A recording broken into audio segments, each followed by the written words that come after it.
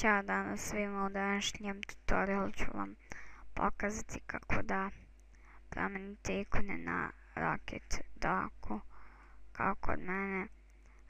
jednostavno da ih promijenite kao kod mene ovo crno ili nešto drugo. Znači ostavit ću vam link za sve moje ove ikone, odnosno uploadu ću ih. pa vi samo to skinite.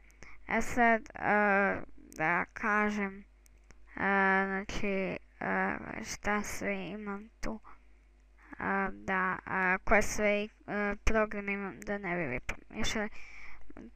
Ovo prvo manj da znate, Google Chrome, Utalent, Camtasia Studio 7, Sony Vegas Pro 10, Photoshop CS4, Cam Player, Devon Tools Lite, My Documents, My Music, My Pictures, Doc Settings i Recycle Bin.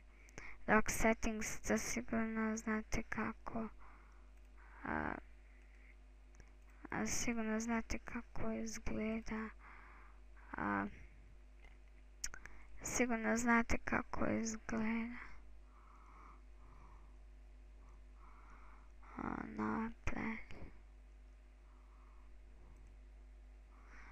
sigurno znate kako izgleda to je ta ikona. E sad ja ću vam osviti upload za moje ikone. I vidite se to izmenjujete kako se mijenjaju ikone. Znači kliknite na ikonu koju želite da promijenite. Desni klik na ikonu osobine. I onda naravno morate dodati folder gdje su vam ikone. Izabrate ikonu, ok i promijenite. Naravno ja sad mogu da stavim i drugu ikonu neku, ne znam, sam ovako uzao. Znači, ponavljam,